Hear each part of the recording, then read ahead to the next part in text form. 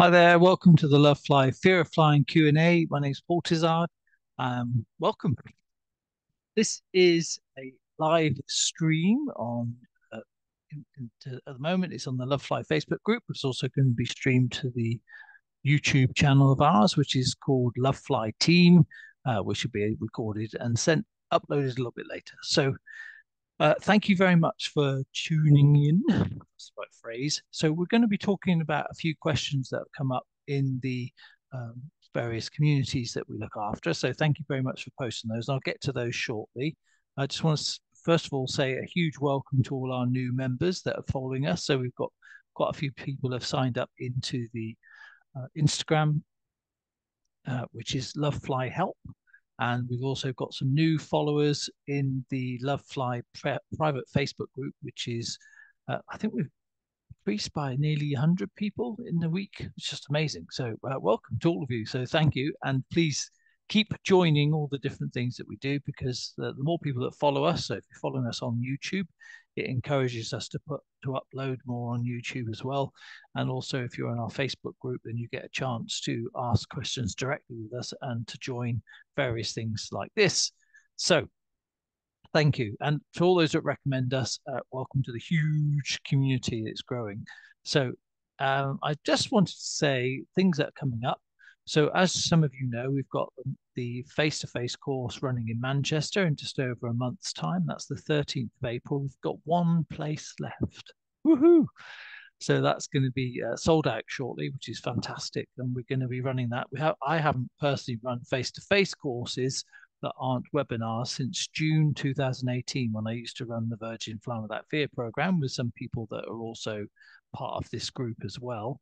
And one of the things that we always found with the face-to-face courses it gives people a chance to really ask things and with the speakers that are here all the time and it's it's just a great opportunity to, for the community to to properly be in a room together and uh, and get to know each other. So this course is going to be nice and small, but the ones in the past used to be anything up to 200 people in a room with a flight at the end of it. And who knows, might do that again one day. But at the moment, we're enjoying working lots of different ways, like the Lovefly podcast, the uh, Lovefly Instagram, which is Lovefly Help, like I said, and then the YouTube, YouTube, can't speak. Thank God it's not live. Oh, it is crap uh, the YouTube link, which is Lovefly Team.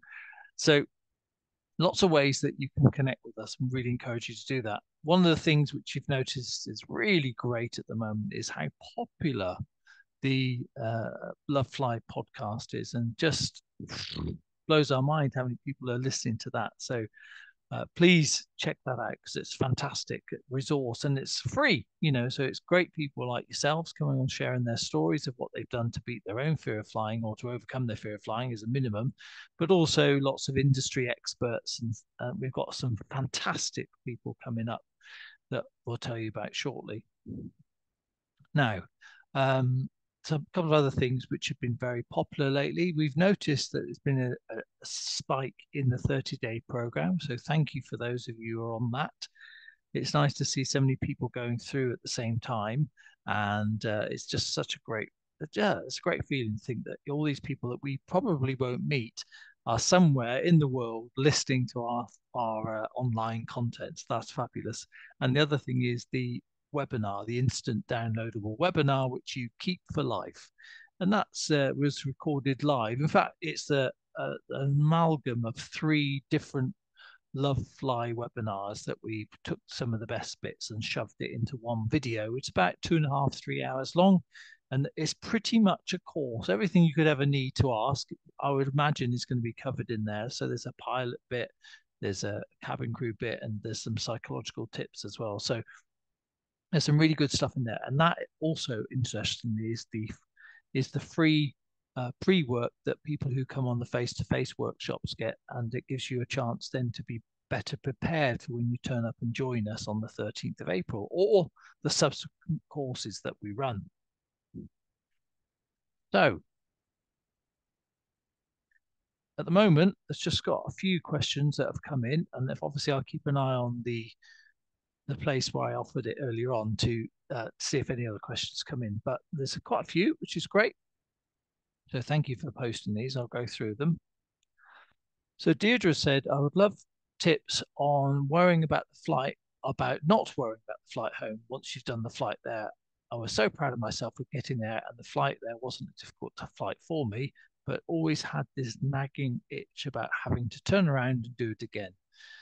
Uh, yes, so a lot of people have this. So I'd like you to know that you're in very good company, Deirdre, because most people would say that they they can they prepare themselves really well for the flight out, and then they kind of go, "God, that was all right. That was I'm I'm I'm amazing. I've I've conquered this thing. I'm I'm fearless." And uh, and then they get into their holiday and they go, "Oh crap, I've got to go back again," and then they worry because they're not worrying this sound familiar? So they worry because they haven't worried, and then they think, well, what about the flight back? I haven't thought about that, and now is, is there something, you know, and then they get themselves in a right, you know, uh, tiz about it. So what I want to say is that the, the flight going back is just the same as the flight going out. Same safety. It's the same sort of all the everything's the same in terms of the preparation. Nothing's changed. The only thing that's changed is your mindset. So when you think about it, most people when they prepare for a flight they, they're so such an organized state that they think oh I, you know i've just got to i've done this and then if they're preparing to help themselves overcome their fear of flying they've done lots of work around that as well. Then on the way back they're a bit more they get, they get stressed but they've had a bit they may have had some time to sort of relax a bit and i think the combination of things can happen. Uh, one is that they don't think about the flight, and then suddenly they think, "Oh crap, it's tomorrow. What am I going to do?" And I've got suddenly fly now, and I haven't done like three months of preparation. So you still have. You've just had a week off. That's all. Um, or they, or they literally land, and they worry about the way home all the way there. And that's and so what I want to say is that there any tips is that eventually you won't be like that. But for a while, you might notice that you know you do have a little bit of anxiety, and it does increase. For example, we always say this, and I've said this before in the audio book, that a lot of complaints we receive more complaints on the way back from people's holidays than we do on the way out. You know, because people are tired, a bit cranky, they don't come home, or they're in a different time zone now. They're, you know, there's just there's so many factors that sort of feed into it that it just does make the experience a little bit more. Ooh. So my tip would be, you don't have to do crazy amount of prep, but maybe just check, just take a couple of favorite podcasts or you know fear of flying books or whatever you've used to help you with your fear of flying. Just check in on them, not massive amount, but just like a little little tickle each day. You know, like I'll just have a quick listen to this, or I'll just remind myself of that, and then just trust that you know you've done enough. You've done enough prep. You know, nothing's changed just because you've had a week's gap. Nothing's changed for that return journey. Do you know what I mean? So hopefully that helps a bit. But I just want you to know you're normal, and a lot of people have said this before. So, but eventually it will go. You know, eventually it will just start to sort of dissipate. You know. Uh, June. Hello, June. June, you're joining us in Manchester, aren't you? So after pre previous post on here, I just want reassurances planes can't just nosedive in the sky. Okay. So this was linked to something that was posted and it's been in the news as well. And unfortunately, the way that the media reports stuff is quite shocking sometimes because when you base what's happened on a passenger's perspective. No disrespect, but when we're passengers, we're not fitted with altimeters. And like I've said this before, we don't actually know what's happened. So if you encounter some moderate or unexpected severe turbulence for literally a matter of a couple of seconds, the aircraft is going to move and it might jerk slightly. And to us inside, it feels a lot worse. Now, you only have to do this if you go on a train and you're walking down the train and the train is on rails, remember, but it's going at, you know, it weighs about the same as an aircraft, okay, typically, but you're only going about 100 and something miles an hour only, uh, compared to, you know, four or 500 miles an hour up there. And still you can be unstable and you can topple and nothing's happened. You're on like a flat surface and yet it's enough to make you kind of stumble and that's the same in the air as well you know so if it doesn't take much for you to just sleep uh, and if anybody is up and about or hasn't got the seatbelt on anything like a little bit of a wobble in the aircraft happens then you're going to feel like it's much worse than it is because you have no set, you haven't, you can't assess how much we've shifted. And if it was a shock to you, then the natural reaction might be that you let out a noise like, you know, or you swear or, um, but what can happen is if you're a nervous flyer, it becomes exaggerated. And so when people report, when, whenever I've heard someone talk about an incident they've happened on an aircraft, they nearly always say everybody screamed and everyone was praying and everybody, but actually, if you think about it, where you're sat, you can't see everybody. So your perspective on what everybody's doing is is limited to the few people around you. And I mean that with the utmost respect, because people have got quite angry when I've challenged this before, but it is the truth. Your perception is your reality. It's not the reality, and it's not what's actually going on with the aircraft. And so, whilst it might have shocked you and it might have been unexpected and it might have been unpleasant and all those other things, you're safe. And when people report their perspectives in the media, it's presented like it's true. And so if there is anything untoward that happens, it always gets investigated and it's always subject to public knowledge. So nothing gets hidden, it's always shared. And as I've been, I've had confirmed time and time again talking to people on the podcast, when I talk to like senior leaders, I talk to pilots, talk to air traffic, it's an open book system. We everybody shares. It's not about different, you know, competitively you can compare things. You know, you might have a, like a price but when it comes to safety knowledge, it's shared. And a lot of the airlines are signed up with IATA, who you know are a big part of. You know, we we are big friends with quite a few people there now, and uh, I've known Johnny Jasper, who's in this uh, in the Facebook group as well for many years, and he sometimes jumps onto here. Now, all these airlines sign up to the IATA standards, so information shared. Um, you know regulations are shared all of these things it's just it's completely open. So if there's anything untoward that's happened it'll be investigated and the findings are shared. If anything needs to be changed it'll be changed.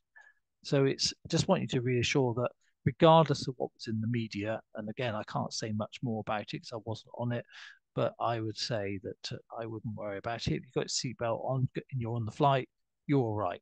Now occasionally if you get up and go to the loo or walk about and stuff and there was an unexpected bit of turbulence, well, it's unexpected, and what can you do about that? You know, it's just one of those things. It's extremely, extremely rare, but it wouldn't, it shouldn't stop you walking about. It shouldn't stop you thinking about the flights being safe because they are. Bit of a ramble there. Sorry about that. Uh, da, da, da, right, the noise of the musical interlude. Uh, Rebecca says, I'm flying this week, only a short flight, which are the best ways to alleviate, alleviate anticipation anxiety and also the cruise anxiety, expecting the worst. Okay, so it's interesting. We've got uh, we've got um, you know the two people that wrote the overcoming anticipatory anticipatory anxiety. I interviewed them on the podcast because John managed to get them. They were great right? And their podcast is coming out is this week or next week. It's, it's coming out in a couple of weeks. John will put comments below because he always does. Uh, but that one he'll they'll both be talking. That's Martin and Sally will be talking about anticipatory anxiety. They've written a few books around this, you know, and uh, so there's some tips in there. What I want to say is that all anxiety is anticipatory because in, in the moment you're not anxious, you're just having you're dealing with whatever's going on. So everything before it is you sort of just allowing your brain to run crazy thoughts because we build these images in our head and we believe them to be true. And our brain, when we're imagining stuff, can't di- differentiate. So if you close your eyes, you imagine yourself doing something, you can trick your body into feeling the same things as if you it was real, you know. And that's how a lot of athletes and people like that and F1 drivers can visualize doing their turns and all the rest of it, even if they're not actually at the wheels. And it's just as effective training, you know, because it helps them to sort of practice doing things well. And so that's the difference with um, anticipatory anxiety is that you're practicing how to things will go badly because what we always do is we over anticipate overestimate what will happen to us and underestimate our resources. And so when we think about anticipatory anxiety, that's that's everybody has that. But the mm. reality is that once you get into the moment of the flight, then you're dealing with right. Okay, now I'm feeling fearful. What am I fearful of? Or am I imagining stuff? So the straight answer is it's never too late to start doing something different. So between now and flying this week, okay, so why not start doing some visualization of it going well? And if you want a little bit of assistance with that, episode 44 on the Lovefly podcast is a little bit of a mini practice of some breathing and visualization. And it's just uh, just could be enough to give you that bit of extra help. The thing is you can play that on your flight as well. And i know a lot of people listen to that um, so whatever you find helpful people use headspace app and uh, like if you're going with virgin for example they have their own relaxation channel on board and some airlines have that some don't but you know so do whatever it is that you find that will help you do that. The other thing that I would say is that when you're on board the aircraft, sitting there doing nothing is not helpful. So, as minimum, get Pete Higgins flight checklist, which is available in various places. You can get it from the Lovefly Facebook group. Uh, if you can't find it on there, then you can always email us and we'll email you a copy of it because that is a fantastic tool to help you chunk up your time whilst you're flying. And then when you treat it like a checklist, you can go through and go, oh, yeah, done that, done that, done that. Okay. So that is a minimum that I would say you can start doing between now and then. Is just have those, to have episode 44 of the podcast and the flight checklist. And then you've got something to do. And the third thing I say is do something for your structure hunger. Okay. So, in other words, when you are up there and you are in a cruise, for example, when would you ever just sit and have unstructured time like that? So chunk the time up, you know. And this is another Pete Higgins tip that he says in his podcast episode. It's like have a plan, think about how I could chunk my time up, and then that gives you some sort of purpose, you know, like so one to two hours is the meal, is the drink. The next two hours, or maybe I'll go for a walk and then I'll do a bit of reading the next couple of hours I'll do this. So it starts thinking about that. So it's just chunking it up. Most things can be broken down into units of time, and then it makes it much more manageable to think about what actually am I dealing with here. So that's all the questions I've seen. I'm just going to have a quick look to see if there's anything come through. Um, nope, can't see anything else that's come through. So if there are other questions, you can always, um, if you want to get them proper answers, come onto the Lovefly Facebook group and ask those questions. I'm saying that I know some of you are already in the Facebook group. Some of you will be watching this on YouTube or maybe a little snippet of it on Instagram. So do, come and join us in the Facebook group. It's a private group. Uh, once you're in, provided that uh, you don't sort of post um, weird stuff that people just don't know what to do with, we're always happy to help you, you know, and that's that's what we like doing. But having said that, most of the time, by the time the Lovefly lot get on there to go and answer it, there's already an amazing community that swooped in and answered your questions. So there's a lot of support there for you. So uh, thank you again for watching that. And the new podcast episode will be out on Wednesday. And uh, we will look forward to speaking to you then. And in the meantime, don't believe everything you see in the media. Well, in fact, believe tiny bit of it because most of it's nonsense. And if you ever have any questions at all that you want to ask, stick them in the Lovefly Facebook group and we will do our best to answer you. Take care. See you soon.